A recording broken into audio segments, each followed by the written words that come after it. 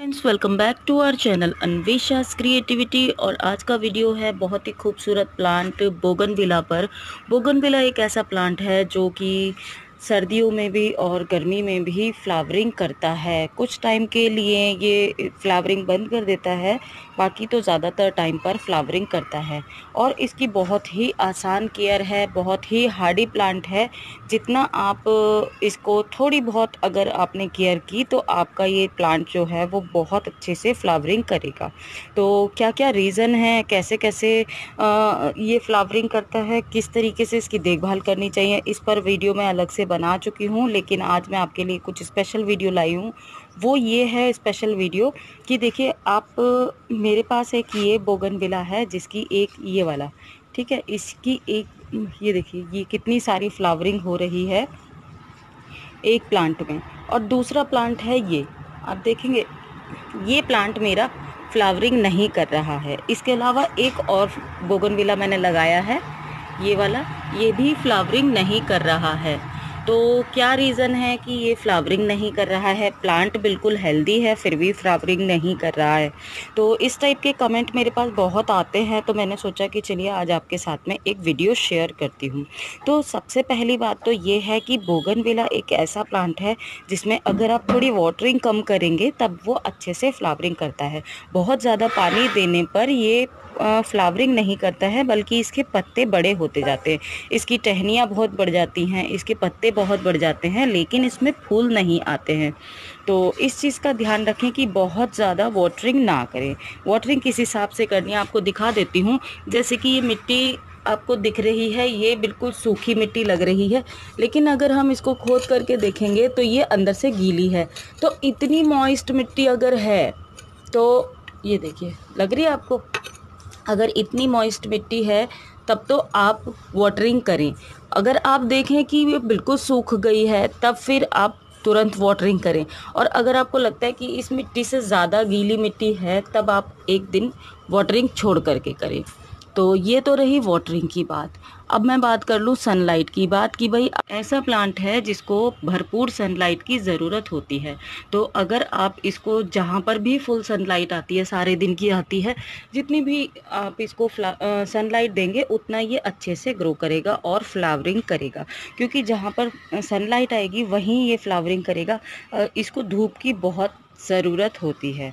अच्छा अगर मैं फ़र्टिलाइज़र की बात करूँ तो फ़र्टिलाइज़र जो है, वो आप इसको कोई भी फ़र्टिलाइज़र दे सकते हैं, जैसे कि गोबर खाद या फिर वर्मी कंपोज ये दो फर्टिलाइज़र ऐसे फर्टिलाइज़र हैं जो आपके प्लांट को एक तो स्वस्थ रखेंगे, दूसरे फूल प्रोड्यूस करने में बहुत ज़्यादा मदद करते हैं।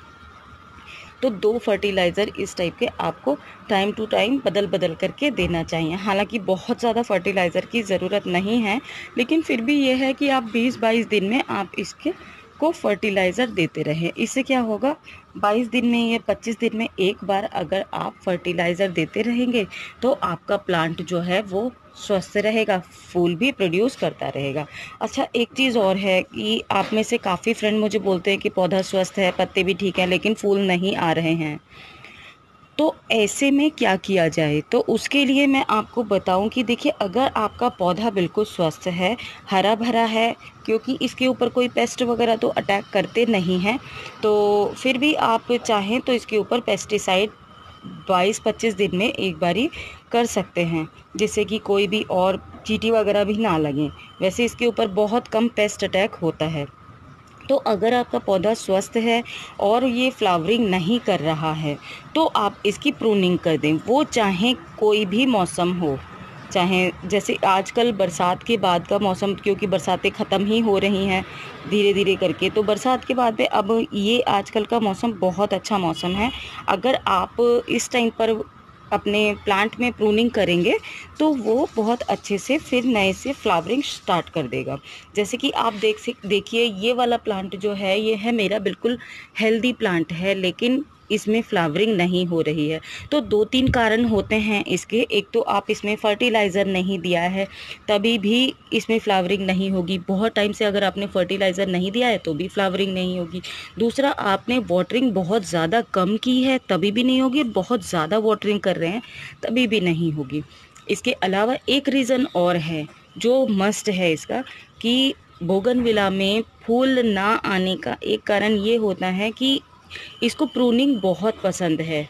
तो आप इसको टाइम टू टाइम इसमें अगर प्रूनिंग करते रहेंगे तो आपका फूल जो है, एक तो पौधा जो है, आप मनचाही शेप में इसको ढाल सकते हैं। दूसरा ये कि आप जब प्रूनिंग करेंगे, तभी इसके अंदर फ्लावरिंग स्टार्ट होगी। जैसे कि आप देख सकते हैं, ये मेरा काफ़ी बड़ा प्लांट था, ये वाला। तो मैंने इसमें छोटी छोटी सी एक ये ब्रांच अभी काटी है, और पिछले तीन महीने में मैं इसमें दो बार प्रूनिंग कर चुकी हूँ। तो अभी रिज़ल्ट दिखाती हूँ आपको। ये जो आप पत्तियाँ देख रहे हैं, पत्तियों के ऊपर छोटी छोटी पत्तियाँ देख रहे हैं ना? ये देखिए। जहाँ पर इस टाइप की कलरफुल सी पत्तियाँ ग्रो होती हैं, ये देखिए। जहाँ पर ये कलरफुल सी पत्तियाँ ग्रो होती हैं, वहीं से ये फूल निकलते हैं। ये देखिए, इसके ऊपर भी कलरफुल सी पत्तियाँ ग्रो होने लगी हैं। ये देखिए। तो यहाँ पर जहाँ पर से कलरफुल सी पत्तियाँ ग्रो होती है ना, वहीं पर फूल निकलने शुरू होते हैं। तो अगर आप चेक कर लीजिए कि अगर आपके प्लांट में इस टाइप से पत्तियाँ निकल रही हैं तो वहीं तब आप प्रूनिंग ना करें उस जगह से, क्योंकि वहाँ पर फिर नए फूल निकलते हैं। क्योंकि इसके फूल भी इसी तरीके के होते हैं कागज़ फूल होते हैं इसके तो इसीलिए आप इस जगह को या इन पत्तियों को चेक करने के बाद ही प्रूनिंग करें।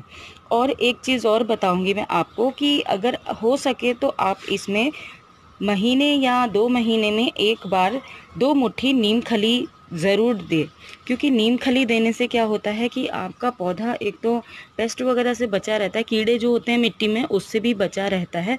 दूसरी चीज़ ये कि आपका पौधा जो है, उसमें फूल प्रोड्यूस करने में मदद मिलती है। नीम खली भी एक ऐसा फर्टिलाइज़र है, जिससे कि फूल प्रोड्यूस करने में मदद मिलती है। तो आज की जानकारी इतनी ही थी। उम्मीद करती हूँ आपको पसंद आई होगी। अगर अच्छा लगा आज का वीडियो तो लाइक और शेयर ज़रूर से करें। जल्दी मिलूँगी आपसे अपने अगले वीडियो में। तब तक के लिए बाय